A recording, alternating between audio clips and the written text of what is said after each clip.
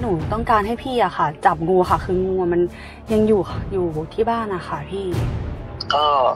เดี๋ยวผมประสานงานให้ครับ แล้วก็ถ้าไปรอบนี้ก็คือจะจะจะให้เลยไหม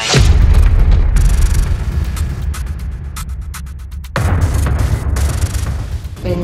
ตัวแทนกู้ภัยมาขอเรียกค่าตอบแทนเล็กๆน้อยๆหนูก็บอกว่าไม่ทราบจริง ๆ ว่าต้องเสีย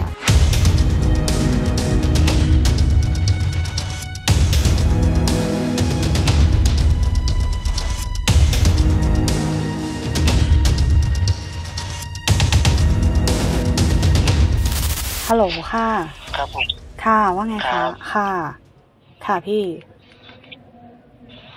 คืออ่าจะเอาแบบไหนดีครับ คืออันนี้อันนี้พี่หมายความว่ายังไงคะคือ คือยังไงคะพี่ คือที่จะมาขอคุณอ่า คืออันเนี้ยคือว่าตอนเนี้ยหนูต้องการให้พี่อะค่ะ จับงูค่ะ คืองูมันยังอยู่อยู่ที่บ้านอะค่ะพี่ อ๋อครับ ก็เดี๋ยวผมประสานงานให้ครับ แล้วก็ถ้าไปรอบนี้ก็คือจะจะจะให้เลยไหมหรือยังไงครับ อันนี้คือพี่ตัวพี่มาด้วยหรือเปล่าอะคะอ๋อไม่ครับพอดีผมเป็นอ่าศูนย์กลางครับ อ๋อ แล้วพี่จะให้เจ้าหน้าที่ลงมาให้เหรอคะใช่ครับ อ๋อแล้วแล้วพี่ชื่ออะไรอะคะชื่อเบลครับ แล้วที่ศูนย์พี่อยู่ที่ไหนอะคะ อยู่ในเทศบาลสวนลุงเหนือครับ อยู่ที่เทศบาลสำโรงเหนือเหรอคะใช่ครับ อันนี้พี่พี่มีไลน์แล้วพี่มีเบอร์เบอร์มือถือไหมคะ หรือว่าพี่ หรือให้หนูติดต่อทางไลน์คะติดต่อทางไลน์ได้เลยครับ ค่ะหนูจะเจอพี่ได้ใช่ไหมคะเดี๋ยวหนูโทรหาแล้วกันนะคะ ให้ไปที่ศูนย์นะ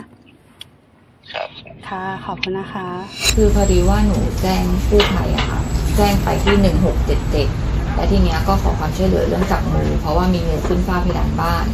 ทีนี้ก็มีหน่วยงานติดต่อมาเยอะมาก และทีนี้เขาก็โทรมาบอกว่า เดี๋ยวจะติดต่อให้หน่วยงานอะเข้ามาเพราะผมทำงานอยู่ มีพี่คนนึงโทรมาก่อนเลย ทีนี้หนูก็บอกว่าได้ค่ะ แล้วเขาก็ติดต่อเทศบาลด่านสำโรงและด่านสำโรงก็มาครั้งคนแรกเนี่ยมาสามคน แล้วก็มาชุดที่สองอีกประมาณห้าหกคน เป็นวัยรุ่นไม่ไม่ได้ใส่ชุดในเครื่องแบบเลย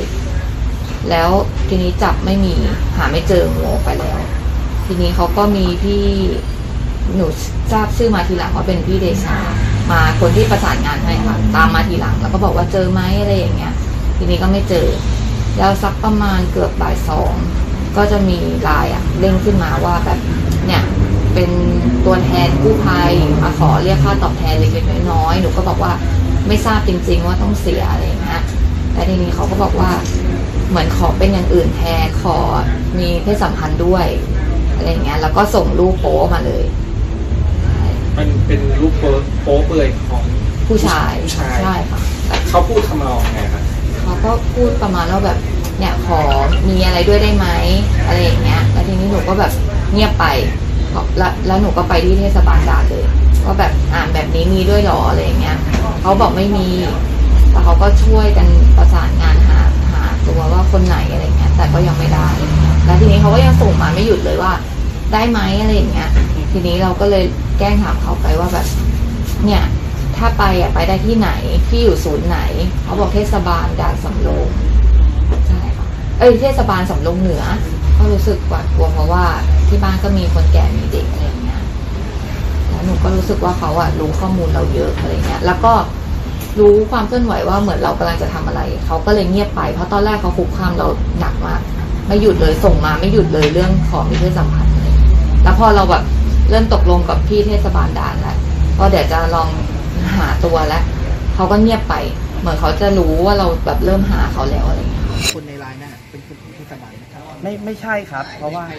เพราะว่าถ้าคนทุกคนในในในเทศบาลนะครับ ที่เป็นพนักงานดับเพลิงด้วยกันครับ เราจะรู้จักกันทุกคนเราจะมีไลน์ contact กันทุกคนอยู่แล้วครับ ตรงเนี้ย